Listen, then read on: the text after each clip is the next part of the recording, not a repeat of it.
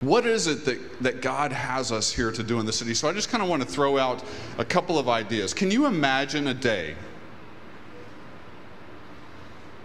We, we all want to look forward to something, right? So some of you are looking forward to going home to your home country this summer. Some of you are looking forward to your next vacation, right? Some of you are looking forward to your next paycheck. Who's looking forward to their next paycheck, right? If you work for the American government, you are in really looking forward to your next paycheck. Okay? We all look forward to something, but the things generally that we look forward to are really short term. And once we get them, they tend to just not last very long. What we as Christians look forward to is something greater, grander, and more glorious and so I, I want to just paint a picture for you tonight of what we're looking forward to, what this church is looking forward to. Can you imagine a day in Taichung where this church, where TIF is known as the place where no matter your culture, this is the place where you're the most cared for and loved in the city.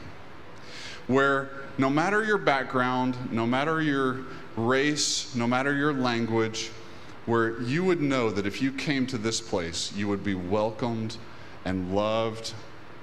It would be a picture of heaven. I actually feel like that's already a little bit of who we are. It's in our DNA. It's who God put us together to be. I would say it like this that hope is found here because Jesus is here. doesn't that sound like a place you want to be? Hope is here because Jesus is here. Some of you have actually said that to me when you came here, that you felt like this was a place where you found a sense of hope and belonging. I want every person who walks through the doors, who actually, it doesn't matter what door you walk through because we've been through several here, but when you come into this fellowship, you find hope.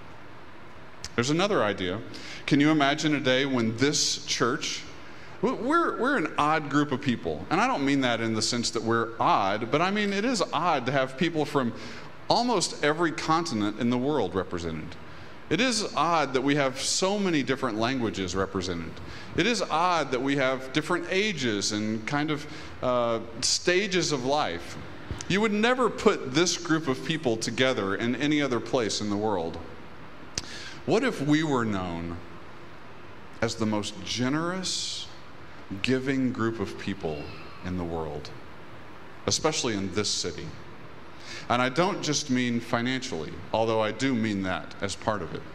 What if we were known as the people who opened their pocketbooks, opened their hearts, opened their resources in such a way that it couldn't be matched? That's what I, I dream and I hope for for this church. Because Jesus is really glorified when we're most willing to give up that which we treasure the most. Here's how I would say it that help is here because Jesus is here. You know, there's a lot of needs in this city, and there's a lot of needs around the world.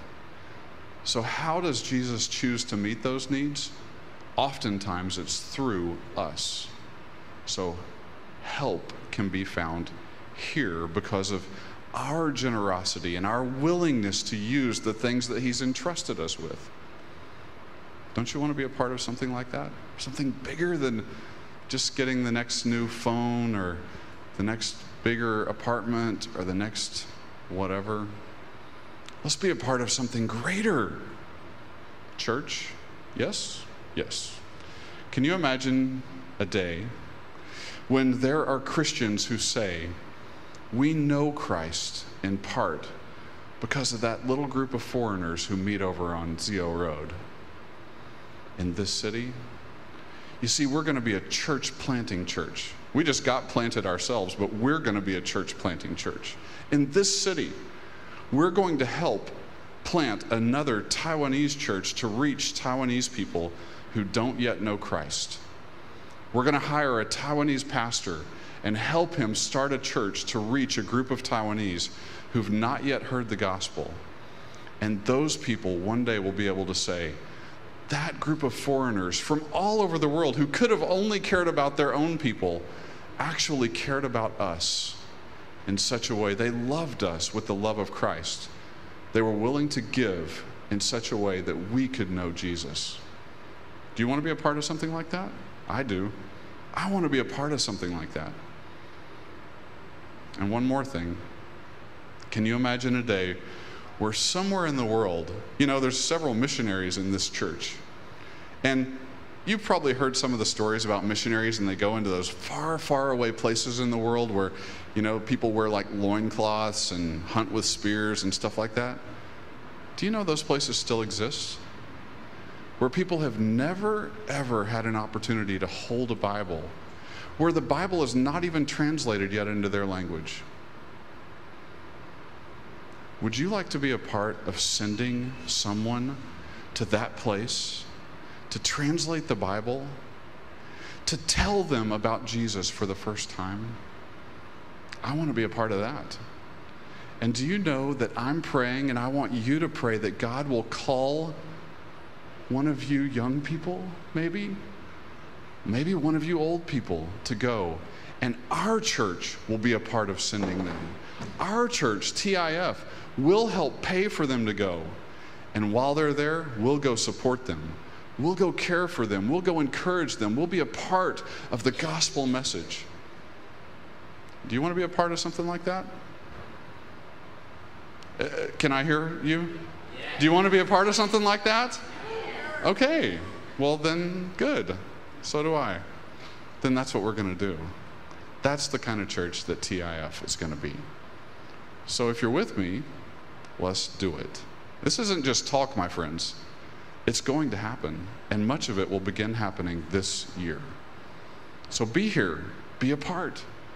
Give your resources, give your time, give your energy, and help us make it happen. With God's help, with God's leadership, I think by the end of this year, there's going to be some amazing things happen with just this crazy group of foreigners. All right?